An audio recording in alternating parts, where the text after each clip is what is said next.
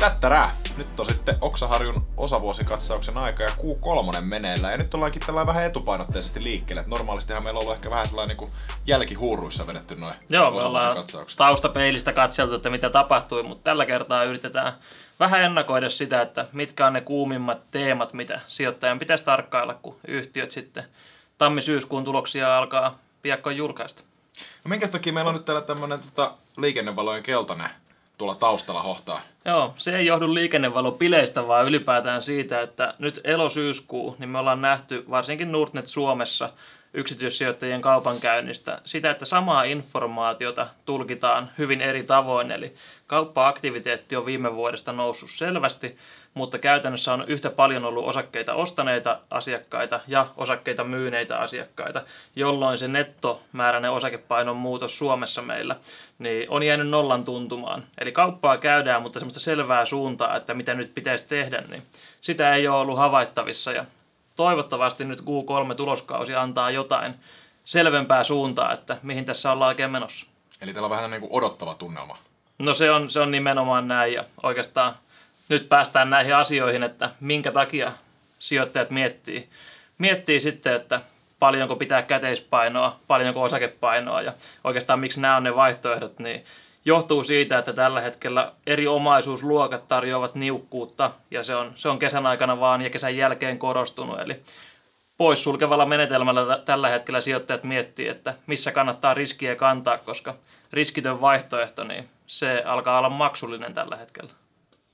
No kauppasotahan jyllää edelleen, että tässä ei nyt oikeastaan mitään senkään suhteen tapahtunut. Tässä on nyt soudettu ja huoattu jo ja. puolen vuoden verran. Että olisi kiva, että voisi joskus jotain muutakin kertoa, kun ei nyt saada minkäännäköistä ratkaisua senkään suhteen. No se on ihan totta, että kauppasota on, on ollut se kestoteema ja ehkä tässä sijoittajat miettii sitä, että Yhdysvalloissa presidentinvaalikampanjat ovat alkaneet ja oikeastaan saaneet koko ajan lisää kierroksia, niin haluaako Trump saada jonkinlaisen ratkaisun kauppasotaan ennen seuraavia vaaleja ja kuinka lähelle se sitten vaaleja ajoittuu vai meneekö hän sitten itsepäisesti vaatimuksissaan eteenpäin ja jatkaa kauppasotimista. Se, että nythän tämä kauppasodan tavallaan riskien nousu, niin se on välittynyt jo tähän reaalitalouteen ja yritysten investointipäätöksiin ja jopa kuluttajien varovaisuuden lisääntymiseen. Eli me nähdään talousluvuista, ennakoivista ostopäällikköindekseistä ja BKT-kehityksestä, että kasvu on hiipumassa. Vielä on varhaista sanoa, että ollaanko taantumassa, mutta se, että se paras, paras kasvuvauhti niin on lähtenyt taittumaan. Eli kun kauppasodasta alettiin puhua, niin kesti jonkin aikaa, että se ei tarttunut tähän, tähän yritysten ja maailmantalouden tavallaan arkeen. Mutta nyt ollaan nähty se, että pitkittynyt kauppasota, lisää kierroksia saanut kauppasota, niin se on vähitellen alkanut tarttua. Nyt kuitenkin ihan viime viikkoina mä näkisin, että ei ole enää tullut lisää kierroksia, vaan jonkinlainen vaihe. Tämä ei ole ensimmäinen eikä toinen vaihe, kun yritetään sopua. Mutta nyt ollaan taas siinä vaiheessa, että Trump yrittää Kiinan kanssa luoda keskusteluyhteyttä ja saada jonkinlaista sovintoa aikaan. Se, että mitä kauppasodan mahdollinen ratkaisu sitten toisi. Mun mielestä me nähdään tällä hetkellä Helsingin pörssissä hyvin kahtia jakautunut tilanne, eli meillä on syklisiä yhtiöitä, sanotaan vaikka konepajasektori, mm. pois lukien kone, joka, joka jostain kumman syystä taas pitää, pitää pintansa 50 euron päällä ainakin toistaiseksi. Siellä on kuitenkin Cargotec, Konecranes, Wärtsilä, Outotec, Outokumpu, tämän tyyppisiä nimiä, jotka on ottanut vuoteen puoleentoista kymmeniä prosentteja kurssistaan alaspäin. Oikeastaan siitä syystä, että riski tälle maailmantalouden taantumalle ja kauppasodan niin kuin totaaliselle eskaloitumiselle on kasvanut. Se, että jos kauppasotaan saataisiin ratkaisu, niin sykliset yhtiöt suurena joukkona voisivat hyötyä hyvinkin merkittävästi, koska niihin on sitä kauppasodan riskiä hinnoiteltu. Sitten taas kolikon kääntöpuoli. Nyt kun kauppasota on, on koville kierroksille mennyt viime kuukausina, niin sijoittajat on hakenut turvasatamaa. Eli tämmöisiä defensiivisiä, vakaita, ennustettavia, osinkoa maksavia osakkeita ja yhtiöitä nyt, nyt sijoittaja pystyy tai oikeastaan joutuu osakemarkkinoilla valitsemaan, ottaako hän kauppasodan niin kuin eskaloitumisen riskin uhan alla olevat sykliset vai maksaako hän niin kuin, tosi kovia hintoja näistä vakaista osinkoyhtiöistä. Mutta se, että jos sijoittaja itse miettii, että kauppasotaan tulisi jokin järjellinen ratkaisu, niin kyllä näissä syklisissä yhtiöissä niissä on kyllä potentiaalia merkittäväänkin niin tasokorjaukseen. Tässä se todennäköisyyslaskenta, niin se, se jää niin lankojen toiseen päähän. Trumpihan tuntuu olevan aika kriittinen noiden Jenkkien keskuspankkien suhteen, niin mikä fiilis sulla on niistä? No keskuspankit on oikeastaan, jos miettii tätä vähän pidempää perspektiiviä, niin pari-kolme vuotta sitten multa kysyttiin lähes päivittäin, että miten osakkeille käy sitten, kun korot nousee. Että lähteekö pääoma takaisin varovaisempiin kohteisiin ja romahtaako pörssi. Me vielä oikeastaan niin kuin tämän vuoden alussa niin moni näki, että korot saattavat lähteä vähitellen nousuun, talous kasvaa ja tämmöinen kauppasota niin olisi ohimenevä ilmiö, eikä niin, että me täällä vielä niin kuin loppuvuodesta puhutaan samasta asiasta. Nyt me ollaan, nyt me ollaan nähty se, että tämä korkojen mahdollisen niin kuin nopean nousun skenaario, niin se on väistynyt, väistynyt niin kuin merkittävästi. Eli Yhdysvalloissa keskuspankki on lähtenyt taas korkojen laskulinjalle ja Euroopassa Euroopan keskuspankki EKP on jopa lähtenyt niin kuin uutta elvytysohjelmaa puskemaan markkinoille.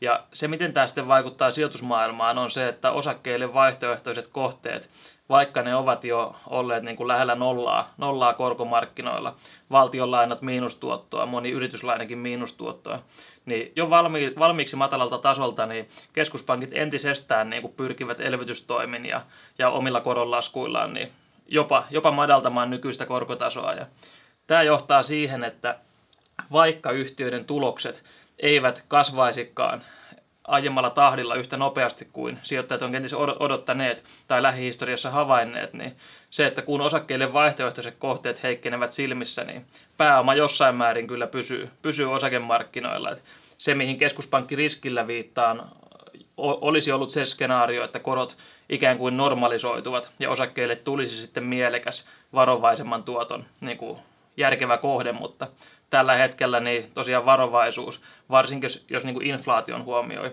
niin varovaisuus maksaa. Säästäjän ostovoima, se, se rapistuu varovaisissa kohteissa ja se riski, että tämmöinen reaalista tuottoa tuottava varma kohde olisi tullut osakkeiden rinnalle, niin ei tällä hetkellä ole. Tämä epätavallinen korkotilannehan tuntuu jatkuvan entisestään, niin kuinka kestävällä pohjalla sä näet No ylipäätään korkojen lasku, niin se on todella, todella pitkän aikavälin trendi. Eli jos katsoo länsimaita, niin korot ovat laskeneet jo vuosikymmeniä, mutta tämä ihan viime vuosien tai viimeisen kymmenen vuoden trendi, jolla ollaan tultu niin kuin käytännössä nollakorkoihin, niin se on niin kuin kiihtynyt, kiihtynyt ilmiö tähän pidemmän ajan kuvaan nähden. Jos miettii tällä hetkellä vaikka valtionlainamarkkinoita Euroopassa, niin nämä eurokriisin, voi sanoa, että niin kuin aiheuttaneet Etelä-Euroopan maat, niin nekin saavat tänä päivänä prosentin kahden kolmen korolla jo lainaa. Suomella taitaa olla pitkät lainat niin kuin jo, jo miinustuotolla, niin kysymys on se, että onko tämä keinotekoinen keskuspankin tavallaan masinoima korkotaso, vai onko tämä oikeasti kysynnän ja tarjonnan luoma korkotaso, niin mä näkisin, että tässä on todella paljon sitä keskuspankkivetoista kauanko tämä kestää. Kyllä matala korkotaso, niin vaikka Japanissa on kestänyt paljon paljon pidempään, mitä me ollaan Euroopassa niin toistaiseksi nähty. Kyllä mä näen, että varsinkin nyt tilanteessa, jossa talouskasvun näkymä Euroopassa on, on hiipunut, niin ei mikään keskuspankki kyllä voi korkoja nostaa, koska edelleen Euroopan valtioilla niin monella on kovat velkaisuudet, ja monen velkaisen valtion niin kuin kotimaisella pankkisektorilla on näiden velkaisten valtioiden lainoja jopa suurempi määrä kuin silloin eurokriisin syttyessä. Niin kyllä keskuspankki tavallaan elvytystoimillaan ja korkotasoa painamalla niin joutuu tukemaan taloutta ja sitä kautta niin tämmöinen nopean koronnousun skenaario niin on, on mahdollinen, mutta kovin epätodennäköinen niin kuin lähivuosina. Talousdata ympäri maailman on ollut suhteellisen heikkoa nyt tässä tällä kuluneella vuosipuoliskolla, niin, niin miten näet nyt tämän loppuvuoden menevän sitten? Joo, no mun mielestä niin kuin keskeinen ymmärtämisen arvoinen seikka on siinä, että tuloskauden niin kuin kurssireaktioita tuskin määrittävät pelkästään ne niin kuin yhtiön liikevaihdon ja tuloksen niin kuin kehitysurat ta- ta- taikka näkymät, vaan se, että sijoittajat miettivät koko ajan, että kun yhtiön tuloskehitys on tämä, jos myyn, niin mihin pääoma seuraavaksi. Ja kun tosiaan kuvatulla tavalla ne vaihtoehdot ovat heikot, niin mä uskon, että hieman hiipuvatkin kasvunäkymät jon, jonkinlaisella niin kuin järkevällä tulevaisuuden näkymällä niin voivat kyllä kannatella pörssiä suuressa kuvassa, koska ne vaihtoehdot tosiaan, niin siitä niin kuin osakkeiden ja korkojen välistä puuttuu semmoisia mielekkäitä tuottovaihtoehtoja, että sijoittaja joutuu ostamaan kenties niin kuin hieman historiallista hintavampia osakkeita PE-luvulla, PB-luvulla, jopa osinkotuotolla ja, ja, ja kasvunäkymiin nähden. Mutta tämä perustuu siihen, että vaihtoehdot, niin ne, ne on tosiaan niin heikkoja, että se, se keskeinen tavallaan osto- tai myyntipäätöksen niin kuin rinnalle tuloksen kanssa otettava tekijä, niin on se, että sijoittajan pitää, pitää hahmottaa, että miten, miten osakkeille vaihtoehtoiset kohteet tulevat käyttäytymään, koska pääoman pitää aina mennä johonkin. Ja, ja se, että osakemarkkina, niin tällä hetkellä, jos heitetään pyöreästi työlukuna, että hyvät firmat maksaa PE 20, otetaan käänteisluku yksi jättuna 20, saat 5 prosentin tulostuoton niin kuin nykykurssitasolle suurista firmoista länsimaissa. 5 prosentin tuotto, se on aika hyvä verrattuna näihin vaihtoehtoisiin matalan riskin kohteisiin, joissa inflaatio huomioiden reaalituotto on jopa negatiivinen. Se, että onko se 5 prosentin tuotto itsessään riittävä korvaus osakeriskin kantamisesta, niin siitä me voidaan olla montaa mieltä. Mutta nimenomaan tämä, että osakkeita ei hinnoitella pelkästään sen suhteen, mitä yhtiöt itse tuottavat, miten ne itse kasvavat, vaan myös siihen nähden, kuinka huonoja ne vaihtoehdot on, eli poissulkevalla menetelmällä. Ja just tämän tyyppinen tavallaan epätasapainotila mun mielestä näkyy elosyyskuun kaupankäynnissä meidän asiakkailla, jotka tekevät paljon kauppaa, mutta samasta informaatiosta päädytään hyvin vastakkaisiin johtopäätöksiin siitä, mitä pitää tehdä. Eli vaihtoehtoihin nähden osakkeita kannattaa olla, mutta siihen, mitä, miten yhtiöt itse kehittyvät ja mikä on tämä talouden suuri näkymä. Sehän ei ole mikään uutinen, että talousmittarit tulee niin kuin valtaosin alaspäin, varsinkin Euroopassa. Niin sijoittajan pitää tasapainolla tässä. Ja tästä oikeastaan päästään siihen, että jos sijoittaja ei ole valmis kestämään niin kuin näitä makroriskejä, on kauppasota, on brexitti, Italian pankkisektori, Venäjän pakotteet, Suomen talouden omat rakennehuolet mu- muiden muassa, niin varmuudella menettää ainakin osinkotuotot. Et se, että kuinka paljon haluaa olla käteisenä, niin se osinkotuotto itsessäänkin Helsingin pörssissä, niin se on 4 prosentin tasoa indeksitasolla, mikä on sitten taas tähän talletuskorkoon nähden, niin siinä on niin hurja marginaali välissä. Mutta ilman, ilman riskinottoa niin ei tällä hetkellä tuottoa ole oikeastaan tarjolla. No miten sä näet nyt on tuleva osinkokevään tässä vaiheessa vuotta? No nyt itse asiassa Q3 kun julkaistaan, niin silloinhan yhtiöt tietävät jo 75 prosenttia kuluvan vuoden tuloksesta, eli varsin hyvä näkymä siihen ensi vuoden eh, tai ensi kevään osingon maksuun. Nyt tämä 2019 keväällä maksettu osinkopotti, niin sehän oli ennätyksellinen Helsingin pörssissä. Täytyy huomioida, että Sampo jakoi omistamia Nordea-osakkeita osinkoina, Fiskars jakoi omistamia Wärtsilä-osakkeita osinkoina. Että on hieman kertaluonteisia osinkoja tullut, tullut tälle kuluvalle vuodelle, mutta kun ottaa huomioon tämän talouden yleisen kuvan, eli tavallaan markkinaympäristö vaikeutuu, niin kyllä mä uskoisin näin, että osinkoja maksetaan hyvinkin avokätisesti, koska yhtiö miettii tuloksen saatuaan, että paljonko investoidaan ja paljonko jaetaan ulos omistajille. Ja nyt kun nämä investointinäkymät ei ole niin kuin kohenemaan päin. Totta kai tämä ensimmäinen eli kauppasota, jos tämä ratkeaisi, niin varmaan sitten moni rohkenisi investoida. Mutta mikäli kauppasotaan ei tule mielekästä ratkaisua, jos Brexit venyy ja venyy ja venyy tai, tai jopa kääntyy niin kuin markkinoiden kannalta negatiiviseen lopputulokseen, niin osingot voi olla se tapa, mihin pääomat sitten ohjataan. Jätetään tavallaan se tuloksen investoimisen ja uudelleen sijoittamisen niin kuin taakka omistajalle, että itse yhtiö ei lähde tähän markkinatilanteeseen ottamaan tarpeettomia riskejä. Eli kyllä mä niin kuin vahvaa osinkokevättä povaan ja siihen varauksena se, että miten tämä makronäkymä kehittyy, mutta nykyisellään niin harva lähtee näin moneen makroriskiin niin investoimaan mitään uskaliaita hankkeita. Eli tästä nyt voitaisiin ehkä loppuun summata sitten, että tämä Q3 tuloskausi on muutakin kuin pelkkiä tuloksia. Tuolla on niin paljon kaikkea muutakin ilmassa.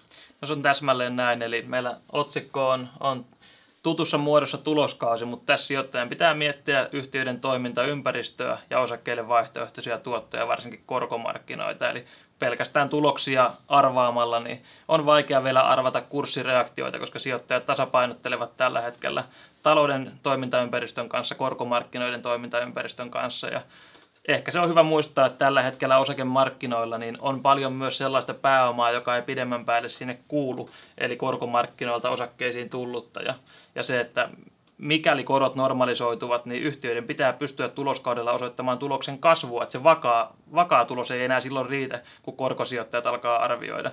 Mutta mikäli korot pysyy matalana, niin silloin mä uskon, että pörssissä yhtiöille sallitaan keskimäärin myös heikomman kasvun kausi. tässä joutuu ottamaan nyt valitettavasti kantaa myös tähän yleiseen taloustilanteeseen. Oli hauska turistaa taas Jukka sun kanssa ja toivottavasti tekin opitte siellä jotain. Tämä oli oikeastaan tällä kertaa tässä vai onko sulla jotain loppuläppää heittävää No se oli tässä ja sanotaan, että kun Q4-tulokset seuraavan kerran tulee, niin sitten me voidaan näitä osinkoyhtiöitä lähes, lähes 100 prosentin varmuudella jo listailla ja silloin ollaan myös osakesäästötilin käyttöönoton kynnyksellä ja siinä myös tämä osinkoteema ja osinkojen uudelleen sijoittamisen teema niin tulee varsinkin suomalaista yksityissijoittajaa hyödyttämään. Pysytään linjoilla. Muistakaa pistää peukkua, tilatkaa kanava, jos te vielä sitä tehnyt. Me nähdään ensi kerralla. Morjens! Moi!